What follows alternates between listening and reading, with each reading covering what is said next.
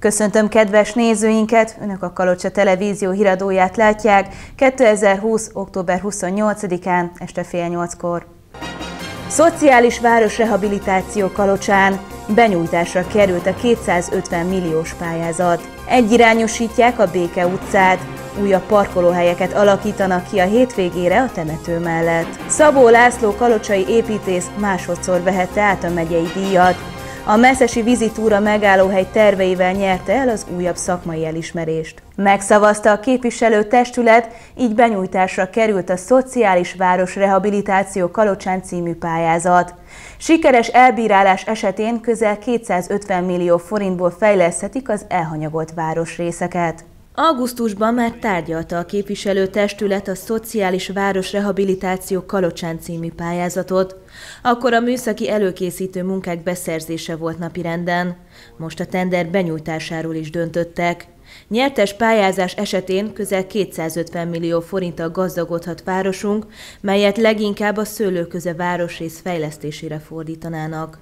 Többek közt bérlakásokat újítanának, kamerarendszert építenének ki, irodaépületet létesítenének, és útfelújítást is megvalósítanának a szegregált területen. Bérlakások felújítása, közösségi ház építése, korszerűsítés, térfigyelő rendszer, nyolc új kamera telepítése, illegális hulladékrelakó, lerakók felszámolása, játszótér felújítási munka, közmű és útfelújítás, ahogy az az anyagban is szerepel.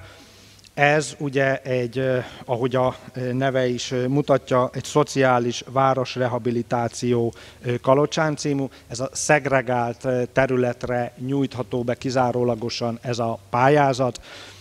Kalocsán is van ilyen településrész, amelyek a felzárkóztatását igyekszik szolgálni ez a pályázat. A pályázat 100%-os támogatási intenzitású. Az ülésen elhangzott, ezek a szociális bérlakások tíz évvel ezelőtt már fellettek újítva, azonban állapotuk nagyon leromlott. A városvezetés nem titkolt célja, hogy a mostani megújítást követően a lehető legtovább megőrizzék majd a lakások állagát óriási probléma az önkormányzati tulajdon ingatlanoknak az állapota és ennek az ellenőrzése, úgyhogy én a jelenlegi ügyvezetőt kértem is arra, hogy erre dolgozzon ki egy olyan mechanizmust, hogy ez ne fordulhasson elő, hogy az önkormányzati tulajdonú ingatlanok ilyen rövid idő alatt nyilván nem a rendeltetésszerű használat mellett leromoljanak, úgyhogy eddig erre nem fordított figyelmet az önkormányzatunk. Ezen már most változtattunk, úgyhogy az ingatlanok ellenőrzése az folyamatban is van.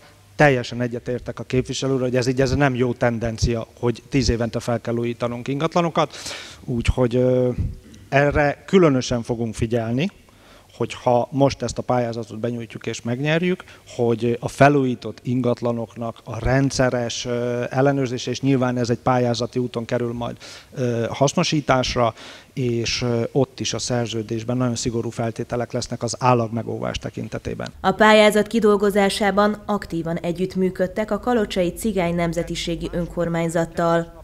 Az ülésen végül a benyújtásról szóló határozatot a képviselő testület egyhangulag, nem szavazat nélkül elfogadta. Megváltozik a közlekedés rendje október 30-a és november 2-a között a városi köztemető környékén.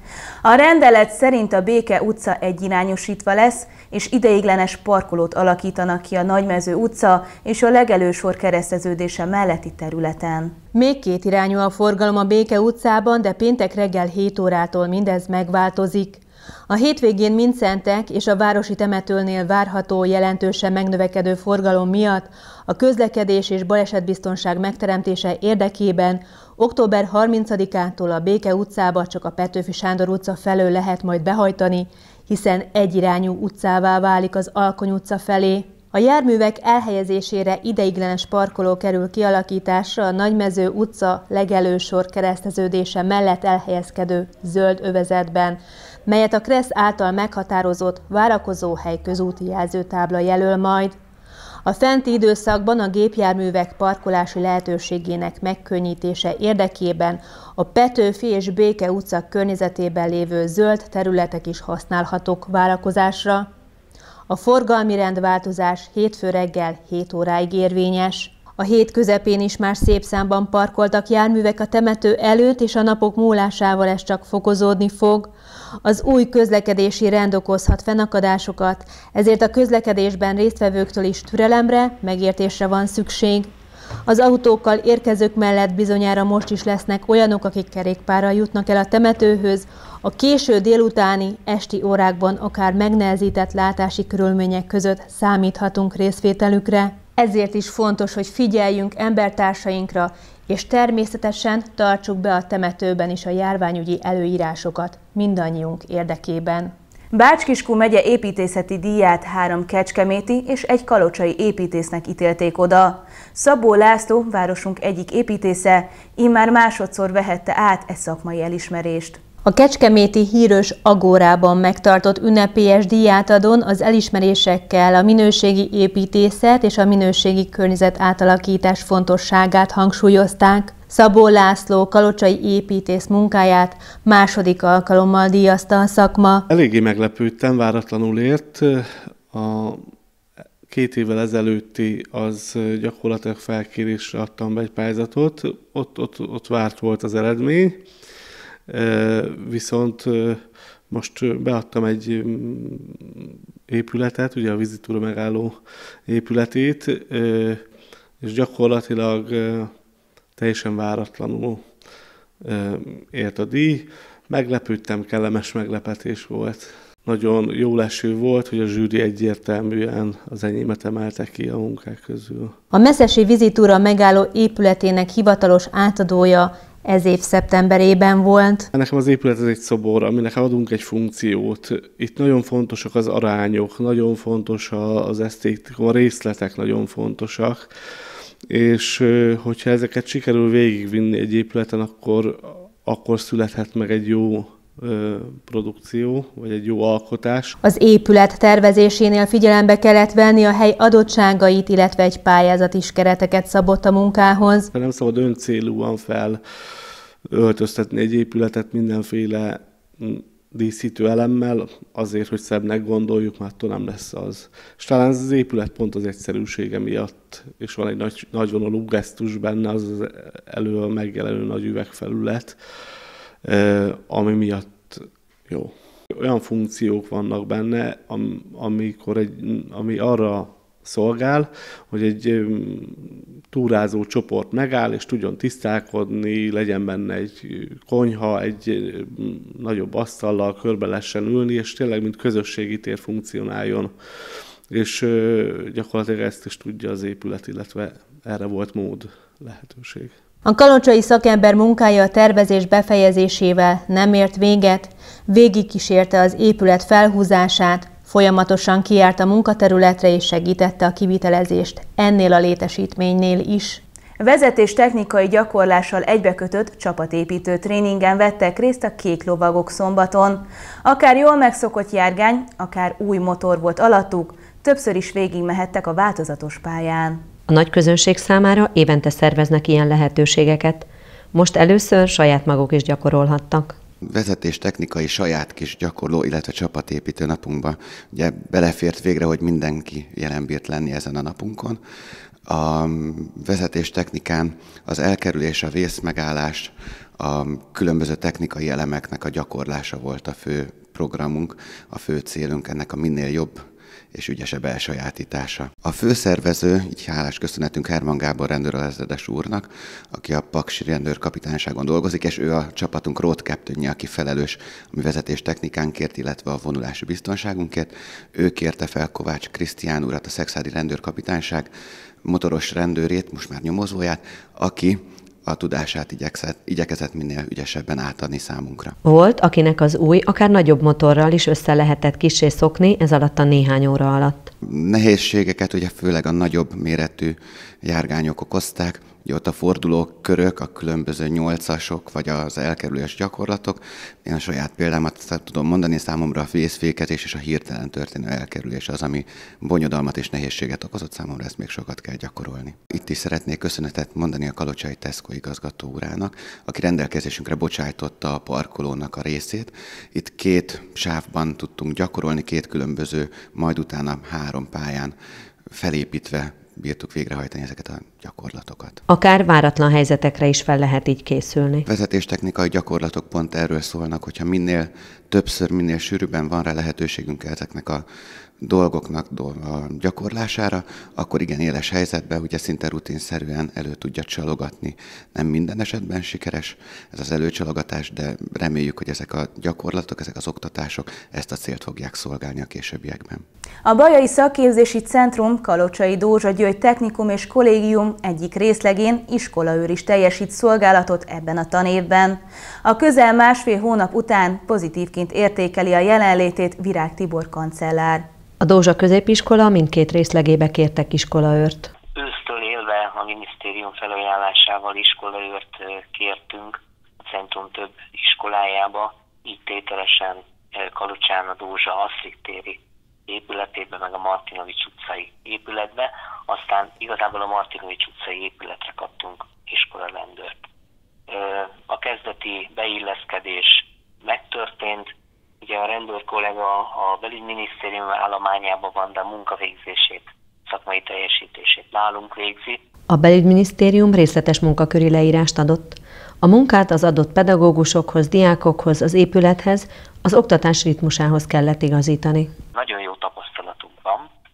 ugyanis a kolléganő, hölgyről van szó, habitusából adódóan nagyon gyorsan megtalálta a hangot a gyerekekkel, és azon túl hogy a rend fenntartása, illetve bizonyos események megelőzése a feladata, azon túlmenően a folyosói ügyelet, a folyosón való közlekedés, uram, bocsánat, dohányzás visszaszorítása terén is nagyon komoly segítségünkre volt.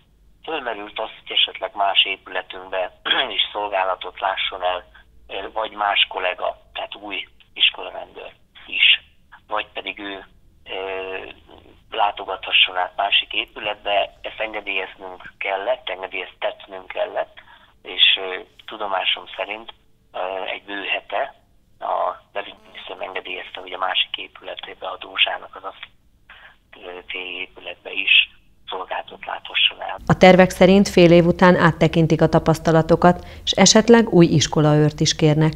Folyosói verekedésbe nem kellett még beavatkoznia. Konkrét erőszakról nem tudunk beszámolni. Egy eset mégis volt, amikor az osztály nagyon nehezen hangolódott rá, talán azt hiszem matematika órára, tehát mi is voltunk középiskolások, és az óra elején nagyobb volt a zaj, mint amit a kolléganő elfogadott volna, és kinézve a folyosóra látta az iskola, őt, ekkor bejött a kolléganő, és elmondta a gyerekeknek, hogy most akkor nincsen születtesség dolgozni és ráállni, de itt is igazából csak egy, egy ilyen fizikai megjelenésről volt szó, és intézkedésre nem került sor. Az iskolaőrnek napi 8 órás szolgálatot kell adnia. A reggeli belépésnél is segít. A mai napon 2291 fővel emelkedett a beazonosított fertőzöttek száma, mely mellett elhunyt 43 krónikus beteg. Rendkívül intenzíven terjed a járvány, mondta Müller Cecília. Az országos tiszti főorvos hangsúlyozta, megfékezésére csak akkor van esély, ha mindenki felelősen jár el. 2291 újabb magyar állampolgárnál mutatták ki az új koronavírus fertőzést, ezzel 65.933 főre nőtt a hazánkban beazonosított fertőzöttek száma. Elhunyt 43 többségében idős, krónikus beteg, így az elhunytak száma 1578 főre emelkedett. 3166 koronavírusos beteget ápolnak kórházban, közülük 263-an vannak lélegeztetőgépen. Rendkívül intenzíven terjed a járvány, mondta Müller Cecília. Megfékezésére csak akkor van esély, ha mindenki felelősen jár el. A felelősség közös, hiszen látjuk azt, hogy Európa szerte és az egész világon rendkívül intenzíven terjed a járvány ennek a megakadályozására, megfékezésére, a járványgörbe ellaposítására van esélyünk, amennyiben mindenki felelősséggel a saját helyén teszi a dolgát, betartja a járványügyi szabályokat, ajánlásokat, rendelkezéseket. A felelősségünk közös, mindenkinek a maga helyén, de az egyéni felelősség nem nélkülözhető. Müller Cecília közölte, a fiatalabb korosztályról átterjedt a járvány a középkorúakra és az idősebbekre. A fertőzöttek ötöde 40 és 49 év közötti, 15 százalékuk 65 évnél idősebb. A kontaktusok számát csökkenteni kell, akinek pedig tünetei vannak, az egyáltalán ne menjen közösségbe. Ezekben a napokban különösen is kerülnünk kell a felesleges, az elkerülhető kontaktusoknak a számát.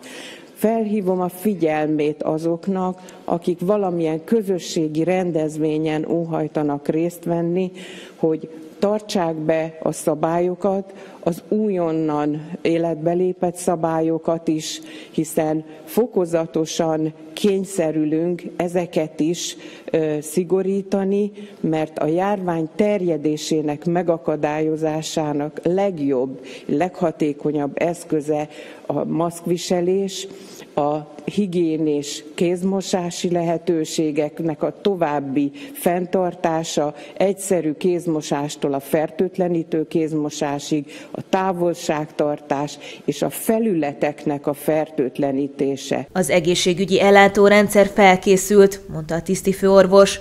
Kiemelte, akinek erre szüksége van, meg fogja kapni a gyógyulásához elengedhetetlen, magas szintű ellátást. Az egészségügyi ellátórendszer, kórházaink felkészültek, akinek kórházi ellátásra van szüksége, mert középsúlyosan vagy súlyosan zajlik nála a betegség, meg fogja kapni azt a magas szintű ellátást, amire az egészségi állapota javítása, gyógyulása érdekében szüksége van. Az országos tiszti főorvos ismertette még a 34. héten a 20 és 29 év közötti korosztályból került ki a fertőzöttek 39%-a, a 43. hétre 12%-ra csökkent az arányuk. Az arányok tehát eltolódtak, míg a második hullám kezdetén a fiatalabb korosztály, mostanra a középkorúak, illetve az idősebbek a leginkább érintettek. Azt is mondta, a 43. héten már az összes fertőzött 20,5 százaléka, vagyis minden ötödik fertőzött a 40 és 49 év közötti korosztályból került ki, a fertőzöttek közel 15 százaléka 65 év feletti, közel 5 százalékuk pedig 15 éven aluli. Bácskiskun megyében a mai napon 1742 regisztrált beteg van. Köszönöm megtisztelő figyelmüket, friss hírekkel és híradóval holnap is várjuk Önöket. Műsorainkat addig is nyomon követhetik weboldalunkon, a kalocsatv.hu-n. További szép estét és kellemes televíziózást kívánok viszontlátásra!